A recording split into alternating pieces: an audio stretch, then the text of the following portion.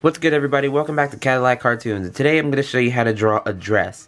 Now, first off, we're going to start off drawing a prom dress, and then we're going to work our way up to a dress with actually sleeves on it, and one that's going to be a little bit shorter. So this will kind of be more of a skirt than a dress, but we're going to draw this later on in the video. This one is a little bit more complicated, so we're not going to draw this one, but these two are just going to be the easier ones to draw than the one in the middle.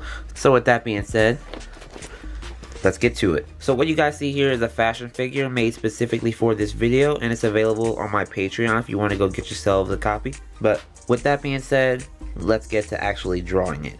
So the first thing I'm going to do is I'm going to start with the breasts here. We're going to work from top to bottom. So up here where the breasts are, we're going to make, uh, I don't know necessarily what it's called, but I guess they're called the cups where the dress is. So we're just gonna make like two curves like right up here. Like right in the midpoint between the neck and the breasts. And then once we pass the breast, we're gonna go underneath the armpit and we're gonna keep making that straight line. Uh, although we can make a curve like this, that's what I actually used to do, but I don't do it anymore because it's supposed to be just like this. But you can do it like this. You, you can do a curve, but you don't necessarily have to because there is a backing to the dress. So I'm just gonna make a slight one actually. Okay. And then right here where the midpoint of the torso is, kind of where the torso kind of almost tapers, like right where it comes inward. Like right around here. Like where it stops from going inward. We're gonna make a line there that's the midpoint of the torso and that's where the dress is going to start. So let's erase these arrows. So after that we're going to draw sort of a semicircle shape. Imagine if a sphere was kind of cut in half but also distorted so most of the legs will be covered but still enough so we can see the shoes. So that's what most of the dress is going to be and that's going to kind of draw the viewer's eye towards the actual character in a dress, you know?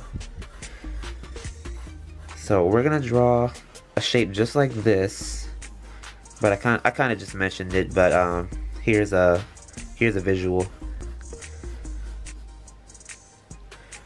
just like this, and then we're gonna make a line just right, right to at this point, like right here. So we're gonna still see the shoes so we're not going to go too far down, although we can, but for this tutorial we're not going to.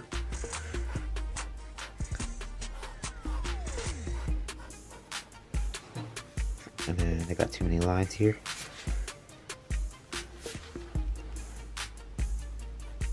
So that's pretty much the dress right there. Those are the basic guidelines. So this top part that we drew earlier, we can leave it just like this because we don't have to do much to it unless you want to add uh, details. If you want, that's what we're going to do. I'm going to time-lapse the coloring process of the dress and then also add some details to this bottom part of the dress and any other details that I want to add but most of that is already done up here but um, we're gonna add details to the dress and also I can give you some tips about how to draw some of the wrinkles in the dress which some people kind of struggle with but yeah it's it's not this video isn't necessarily about drawing wrinkles exactly but I figured I'd share some of the tips about drawing dresses in case uh, if I make a if I make a future video about drawing wrinkles, I may forget to mention it. But this is what I'm gonna do here. Since this bottom part of the dress is gonna be covered with kind of like a whole bunch of streaks, we're gonna start at the bottom and work our way back to the top because when you look at it, this shape kind of tapers and also curves back to where we started up here. So we're gonna kind of work the opposite way back up when we're drawing the wrinkles for the dress and also following that same shape. So imagine if this shape was kind of squish like this. That's how the wrinkle, that's how I usually draw the wrinkles in the dress.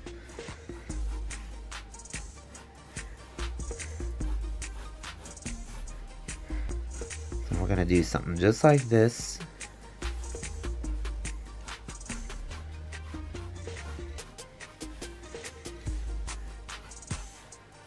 And then right here at the top, this is actually called a tension spot. That's where all kind of the, that's where kind of all the tightness is going to, if that makes sense. So there's going to be a whole lot of wrinkles up here. So I'm just going to draw uh, big lines and little lines here and there.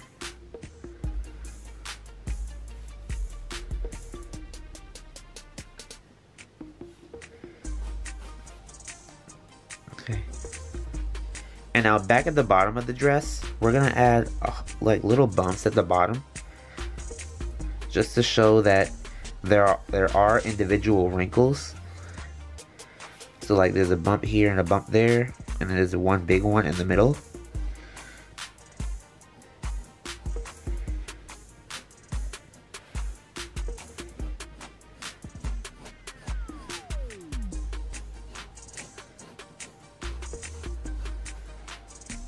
So now that the entire dress is drawn, I'm going to show you guys what it looks like when it's all inked and colored.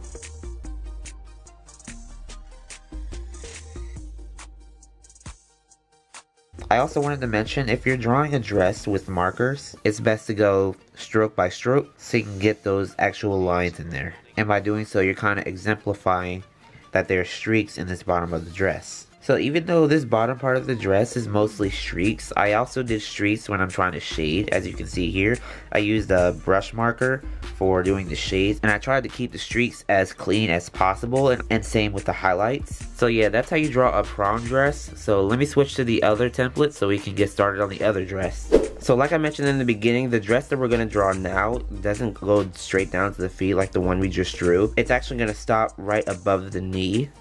So it's going to be sort of a, kind of like a ballerina dress, but not exactly. I think it's called a tutu, but we're not going to draw a tutu, but it's just going to be somewhat at this height. And, and, this time, this one's actually going to have sleeves, unlike the other one. And the sleeves I'm going to draw for uh, this dress has a specific name, and I'll get to that when I get there. But for now, we're going to start to draw the collar, is going to make a U shape for the collar. Like right above the neck. Let's try to even it out.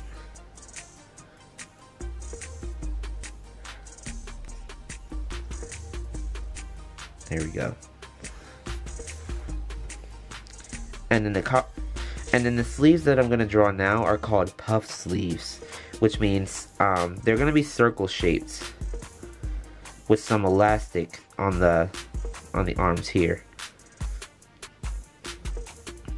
And then right here where this elastic is, it's actually a tension spot. That's where kind of tightness is, if if that's a word, tightness. So I'm just gonna add some wrinkles here. Let's try to make them a little bit bigger. But yeah, they're called puff sleeves because you know how a pufferfish kind of puffs up. So that's what it kind of uh, looks like. And then we're gonna do the same thing on the other side.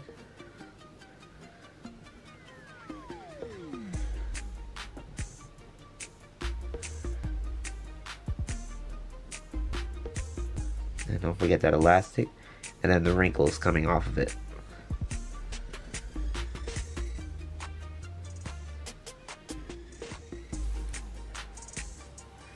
And then like the other dress, it kind of stops at the midpoint of the torso, which is kind of where that where they come inward. And then the point where they stop which is going to be like right over here. It's kind of like an hourglass where it comes in. That's where the midpoint of this torso will be. So it's going to be right here and then that's where the dress is going to stop. So this is the part where it could be elastic but it's not exactly elastic. But even if it isn't we're still going to add some tension spots like right around this area like we did with the other dress.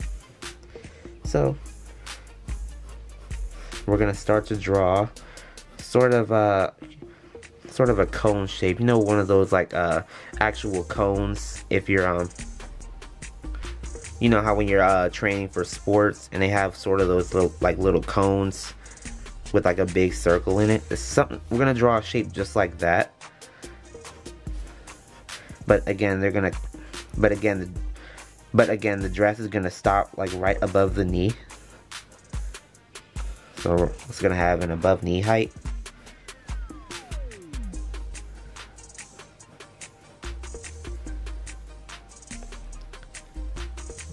Right up here where we started at, we're gonna draw sort of like a ribbon. And then a bow kind of like on the side. Like on the picture I showed you at the beginning. So we're gonna make it just like that. Gonna add a bow here. And then like little strands of ribbon hanging off of it.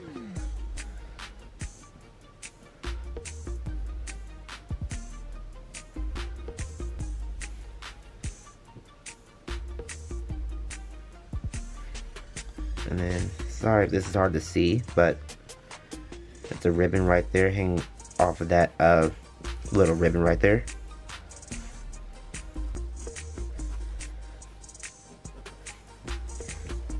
And then comes the fun part. So right here where the dress stops at, um, we made this shape just like this, but instead we're gonna make that sort of shape but it's also to come outward and I'll explain in a second so I'm to draw an arrow and it's to come sort of in the opposite direction. It's to kind of like curve up. Just like that. So that's the that's the direction we're to make this dress in. But we're not to make it too much curved upward. We're not to exemplify that too much. I'm to do the same thing on the other side, and it's kind of already drawn. I'm to curve back down. And then we're actually to follow this line here, making up and down curves, sort of like a wavelength, just like this.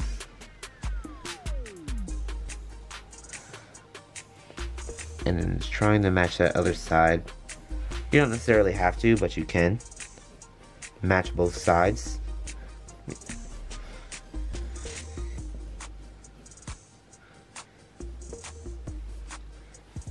And then this straight line that we drew earlier, that was actually a guideline.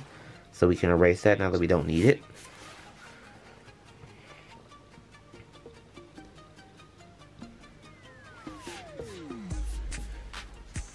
And then the rest of the legs here, that's actually I'm just going to leave that white as if they were like either thigh highs or white leggings or whatever they are. They're just going to stay white.